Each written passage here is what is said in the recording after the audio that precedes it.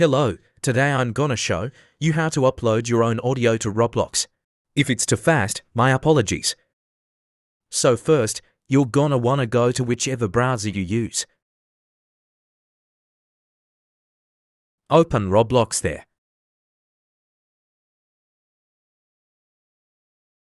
Now go to Create.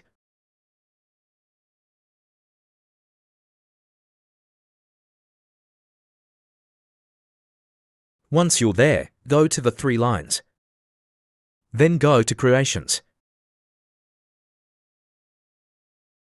Scroll until you find Development Items. From there, you should already see the Audio tab. Click it. And then that's where you upload your asset. And this is what you'll find.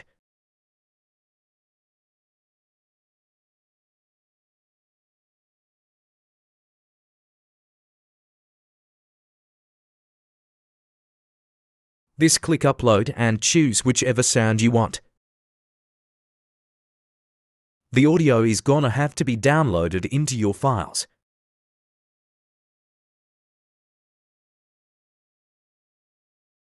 Then rename your audio.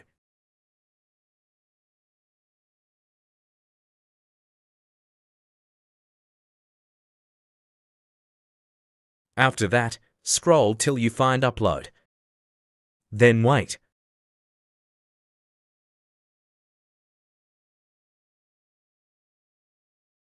You should get redirected and when that happens, either refresh the page or just do what I'm doing.